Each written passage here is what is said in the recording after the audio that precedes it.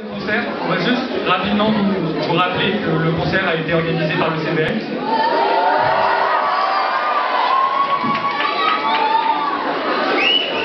Voilà.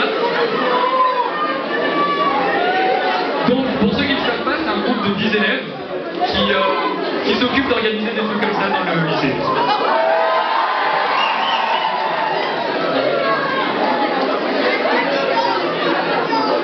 Donc euh, tout de suite, euh, on va entendre euh, un groupe de slammers. Alors c'est Dalam et Critique.